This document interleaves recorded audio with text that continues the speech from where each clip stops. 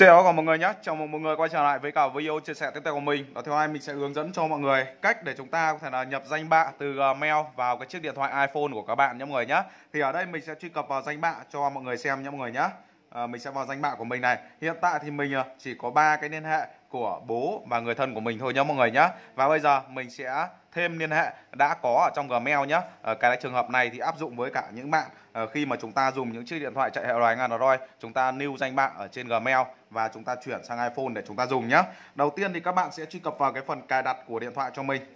Ở trong cái phần cài đặt thì các bạn sẽ kéo xuống cho mình nhé Các bạn sẽ tìm đến cho mình cái phần là danh bạ nhé Ở đây thì mình sẽ chọn vào danh bạ ở trên chiếc điện thoại của mình này. Rồi tiếp theo các bạn sẽ chọn vào cái phần là thêm tài khoản cho mình nhé rồi ở đây thì các bạn sẽ chọn cho mình vào cái phần là tài khoản Google nhé à, Là cái tài khoản Gmail hoặc là email của các bạn nhé Mình sẽ kích vào phần là Google này.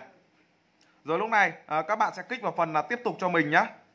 Nó sẽ chuyển cho chúng ta đến một cái trang để chúng ta có thể là nhập cái tài khoản Gmail của các bạn vào đây nhé Mình sẽ điền cái tài khoản Gmail của mình vào đây. Rồi mình sẽ kích vào phần là xong nhé Rồi mình sẽ kích vào phần là tiếp theo này. Rồi lúc này các bạn sẽ nhập cho mình cái mật khẩu của cái tài khoản Gmail của các bạn nhé mọi người nhé sau khi mình điền xong mật khẩu thì mình sẽ kích vào phần là tiếp theo nhé. Rồi lúc này à, nếu mà cái tài khoản của các bạn nó cần xác minh hai bước thì các bạn sẽ kích đồng ý ở trên cái chiếc điện thoại chạy hệ điều hành Android của các bạn cho mình nhé mọi người nhé. Ở đây thì mình sẽ kích ở trên cái chiếc điện thoại mà đang quay video cho các bạn nhé. Hiện tại mình đang quay bằng chiếc Oppo nhé mọi người nhé.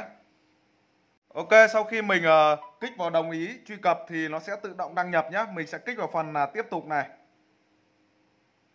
Rồi lúc này mình sẽ kéo xuống nhé. Các bạn sẽ kích vào phần là cho phép tất cả cho mình nhé.